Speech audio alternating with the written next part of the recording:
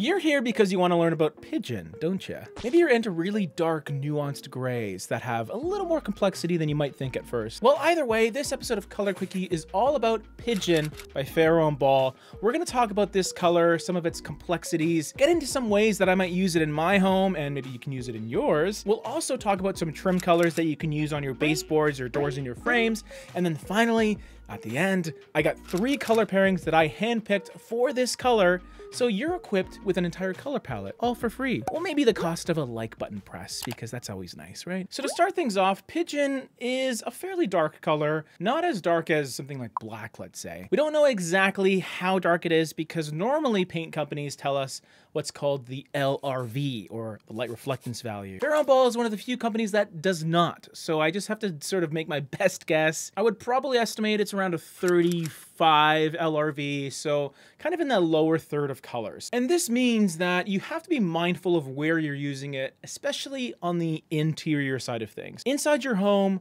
when you pick colors that are quite a bit darker, they will seem more dramatic and perhaps a bit more polarizing depending on who you ask. Colors that are above that 50 LRV mark, or on the 60s especially, they're going to be a little more forgiving because they're sort of in that Goldilocks range of not being too light or too dark for most situations. But your circumstances are going to vary, and it really is just up to personal preference for most people. Now we know this color is sort of gray feeling, right? It is a neutral, albeit a darker neutral.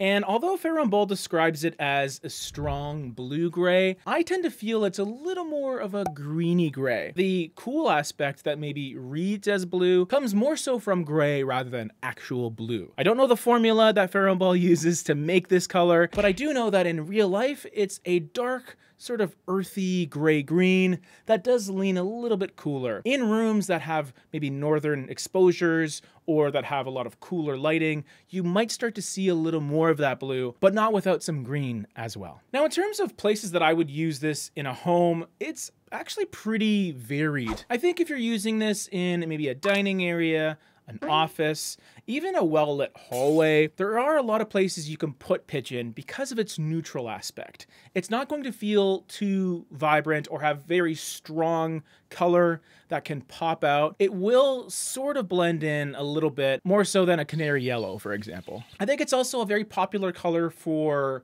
chair railings and any woodworking that's maybe on the upper or lower half of a room. So you get to see it, but it's not going to completely envelop a space, which allows for a little more light reflection if you have a lighter color up top, for example. Now, because it does have that green aspect happening, sometimes a cooler leaning one, this is a color that even though it is neutral, you still want to test it out. Make sure you're getting the right color with the right undertones that plays well with everything else in your home. Now, before we get to trim colors, I do want to touch on exterior use because I do feel Pigeon is a great color to use outside. It has a lot of body to it, which means it's not going to feel washed out under any circumstances really. So if you're looking for a deeper neutral color that's gonna play well outdoors, of course test it out first, but this is a color to look at. And if you're using other paint companies, you can find something similar with Behr's Woodland Sage, Sherwin-Williams' Rushing River, PPG's Smoky Slate, and Benjamin Moore's Desert Twilight. These aren't perfect matches by any means, but those are at least great starting points if you're looking for similar colors. In terms of trim colors, if you're looking for baseboards, doors, and frames, all that stuff to be painted, you should be, Wimborne White would be my first choice because it is a classic, well-loved Farrow and Ball paint color.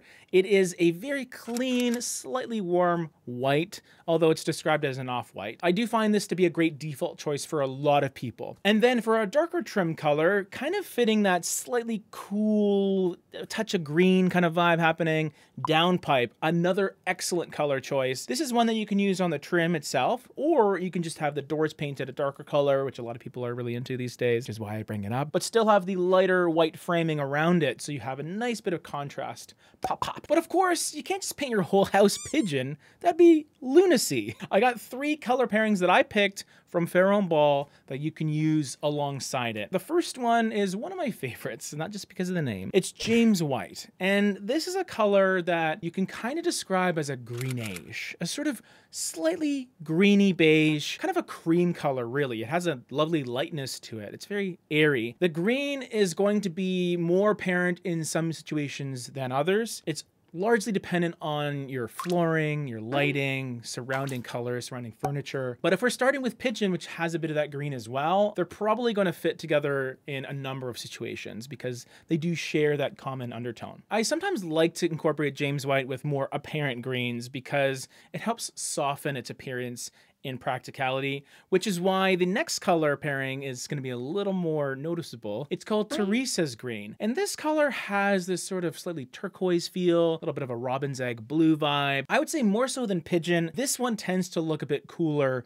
in person in most cases, I would say, even with warmer lighting. I also think this is a color that really shines as a somewhat sort of subtle accent color. So not necessarily enveloping a space with it, having it sort of pop out to accentuate you know, maybe a certain wall panel or a piece of furniture. That way it becomes that much more noticeable. And then the color that's gonna stand out no matter what is our real accent color. And this is Sudbury Yellow. Very much a gold, almost a mustard yellow, extremely saturated, very dynamic, and maybe a bit taxing to the eye after a while. So not something that you would wanna envelop a whole space with, especially a room that you're gonna be spending a lot of time because after a while, your eyes are gonna get tired from how brilliant this color color is. But when used in the right circumstances, in little pockets here and there, it's gonna pop like crazy. Really has this wonderful duality where it feels fresh and contemporary because of the color, but also has this undeniable traditional quality to it too. Here are the colors all together. Let me know what you think of this Farrow & Ball palette. And of course, don't forget to like and subscribe on your way to this video, which is